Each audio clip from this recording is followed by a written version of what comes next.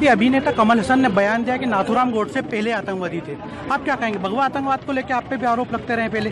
दिग्विजय सिंह ने पहले बार ये शब्द इस्तेमाल किया। आप क्या कहेंगे नाथुराम गोडसे पे नाथुराम गौडसे देशभक्त थे हैं और रहेंगे। ऐसा बोलने उनको आतंकवादी कहने वाले लोग स्वयं के गिरेवान में झाँक के देखें। अब की चुनाव में ऐसे लोगों को जवाब दे दिया जाएगा। साथ ही प्रज्ञा के उस बयान को लेकर के मुफ्ती मुकर्रम साहब की जो कि शाही इमाम मस्जिद फतेहपुरी है, क्या राय है?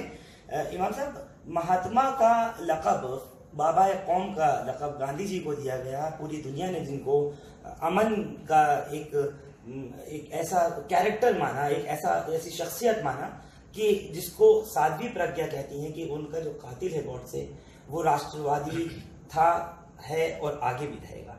उनको उन्होंने नेशनलिस्ट कहा, जबकि गांधी जी के लिए कुल मिलाकर के उन्होंने डिफेम किया, क्या कहना चाहेंगे? साध्वी प्रज्ञा के इस बयान की हम बहुत ही कड़े अल्फाज में निंदा करते हैं, इसकी मजम्मत करते हैं, ये बिल्कुल गलत बयान है उनका।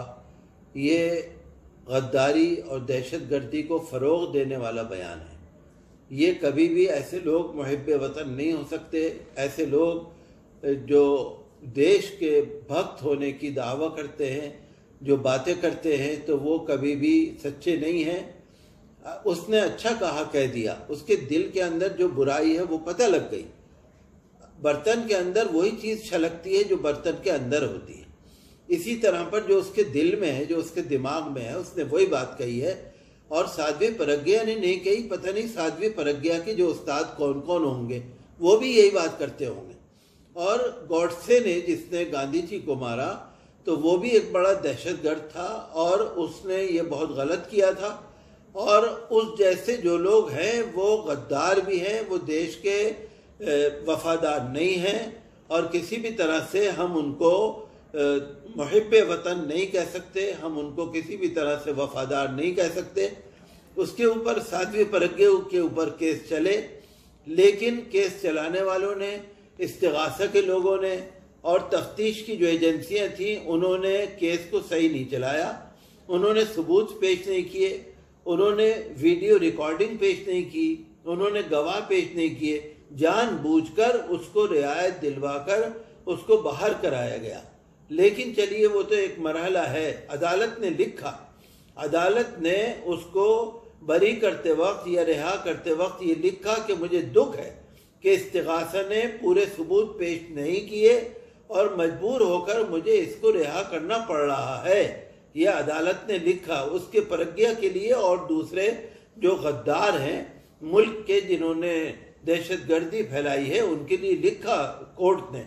लेकिन उसके बावजूद, दूसरी बात यह है कि पार्टी ने, बीजेपी ने उसको भोपाल पार्लियामेंट्री हलके से उसको उम्मीदवार बनाया। ऐसे गलत इंसान को, एक गलत औरत को जिस पर दहशत गर्दी का इल्ज़ाम है, जिसने मुल्क के अंदर गद्दारी को फैलाया है, पार्टी ने उसको बड़े इस्तकबाल करके, बड़े इज़्ज़त के साथ, एजाज के साथ उसको पार्लियामेंट्री हलका भोपाल से जो उम्मीदवार बनाया, ये डबल गलती है। और लगता यह है कि इस पार्टी के अंदर भी कोई सूझबूझ नहीं है और ये देशभक्ति होने का खाली इनका नारा है। लेकिन ये हकीकत में देशभक्त है नहीं। तो साध्वी प्रज्ञा के जो बयान है, हम उससे मजम्मत करते हैं। ऐसे लोग कुछ भी कर लें, लेकिन वो महब वतन नहीं हो सकते। ये मुसलमानों को इल्ज़ाम देते मुसलमानों को इल्ज़ाम देते हैं कि मुसलमान गद्दार है, मुसलमान ऐसा है, मुसलमान वैसा है। मुसलमानों ने कोई गद्दारी का काम नहीं किया और इनशाला आइंदा भी नहीं करेंगे। लेकिन साध्वी प्रज्ञा जैसे लोगों से होशियार रहने की ज़रूरत है एडमिनिस्ट्रेशन को भी होशियार रहने की ज़रूरत है। कब ये बवंडर कर दें, कब ये फसाद करा दें, कब ये मुसीबत खड़ी कर दें, ये बड़े खतरनाक लोग हैं। इनसे होशियार रहने की ज़रूरत है और जहाँ तक मुसलमानों का ताल्लुक़ है तो मैं मुसलमानों से यही कहूँगा, बिल्कुल घबराने की ज़रूरत नहीं, बिल्कुल फ़िक्र करने की ज़रूरत नहीं। हमें अल्लाह ताला की मदद मिली है और मिलती रहेगी इन और वही होगा जो अल्लाह ताला चाहेगा। तो जीत हमारी होगी, जीत हमारे ईमान की होगी, जीत हमारे अल्लाह ताला पर तवक्कुल की होगी। ये लोग कुछ भी कर लें, ज़िंदगी और मौत तो है, आज है, कल नहीं है। लिहाजा हमें अल्लाह ताला के पूरी तरह से ईमान के साथ ज़िंदा रहना है और ऐसे लोगों से होशियार रहना है। और मैं हुकूमत से भी अपील करूँगा, सरकार से भी अपील करूँगा कि ऐसे बयान देने वालों का सख्त नोटिस लिया जाए, ये मुल्क के वफादार नहीं है, मुल्क के गद्दार हैं, हिंदुस्तान के गद्दार हैं, और ऐसे लोग कभी भी खतरा बन सकते हैं। इनको किसी भी तरह से इनके ऊपर एफ़ आई आर दर्ज हो के इनको जेल में डाला जाए, और जो लोग इनके फॉलोवर हैं, जो लोग इनके फॉलोवर हैं और मानने वाले हैं उन पर भी गहरी नज़र रखनी चाहिए। नरेंद्र मोदी ने भी हालाँकि इमाम साहब इस बात पे कहा है कि साध्वी प्रज्ञा के इस बयान को मैं कभी भी ज़िंदगी भर माफ़ नहीं करूँगा जो उन्होंने गांधी जी को लेकर के और गॉडसे की हिमायत में बयान दिया। तो नरेंद्र मोदी ने भी उनको ये कहा है। तो क्या ये भी एक पोलिटिकल स्टंट है? अगर ऐसा ही है तो अब तक पार्टी से क्यों नहीं निकाला गया? क्यों नहीं उनकी सदस्यता को बर्खास्त किया गया? नहीं हम इसका स्वागत करते हैं। प्रधानमंत्री जी ने जो कहा कि मैं उसको माफ़ नहीं करूँगा ये बिल्कुल बात सही है। और हमें उम्मीद है कि वो माफ़ नहीं करेंगे और हमें उम्मीद है कि पार्टी उसके खिलाफ एक्शन लेगी। सिर्फ़ ये नहीं होता कि पार्टी ये कह दे उन्होंने माफ़ी मांग ली, या पार्टी ये कह दे ये तो उनका पर्सनल बयान है, पर्सनल उनका व्यू है। ऐसा नहीं है, बल्कि ऐसे लोगों के खिलाफ कार्रवाई होनी चाहिए। अगर बीजेपी पार्टी ये चाहती है कि भारत के अंदर देश में और विदेश में उसका नाम हो अच्छा नाम हो तो उसे ऐसे लोगों के खिलाफ कार्रवाई करनी चाहिए।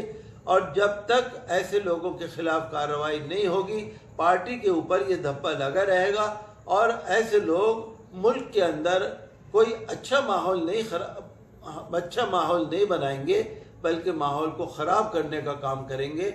लिहाजा ऐसे लोगों पर कानूनी कार्रवाई होनी चाहिए और अच्छे और बुरे लोगों की पहचान होनी चाहिए। बहुत बहुत शुक्रिया इमाम साहब। तो ये पूरी बात के ऊपर इमाम साहब ने, डॉक्टर मुफ्ती मुकर्रम ने पूरे तरीके से उस बयान को जो साध्वी प्रज्ञा ने हिमायत में दिया गौडसे की, जो गांधी जी के हत्यारे है। तो मैं आपको बताना चाहूँगा, इस बात को लेकर के प्रधानमंत्री नरेंद्र मोदी ने भले ही ये कह दिया हो कि साध्वी के इस बयान को मैं किसी कीमत पर काबिल कबूल नहीं करूँगा उसको कभी माफ़ नहीं करूँगा।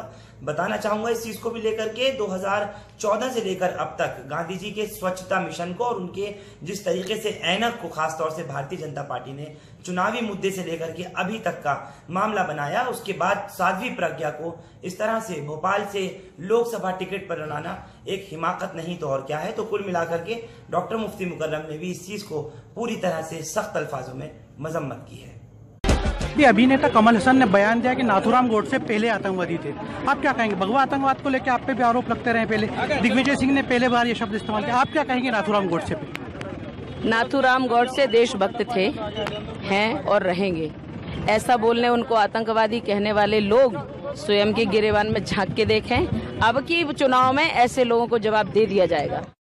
भी अभिनेता कमल हसन ने बयान दिया कि नाथुराम गोडसे पहले आतंकवादी थे। आप क्या कहेंगे? भगवा आतंकवाद को लेकर आप पे भी आरोप लगते रहे पहले। दिग्विजय सिंह ने पहले बार ये शब्द इस्तेमाल किया। आप क्या कहेंगे नाथुराम गोडसे पे नाथुराम गौडसे देशभक्त थे, हैं और रहेंगे। ऐसा बोलने उनको आतंकवादी कहने वाले लोग स्वयं के गिरेवान में झाँक के देखें। अब की चुनाव में ऐसे लोगों को जवाब दे दिया जाएगा।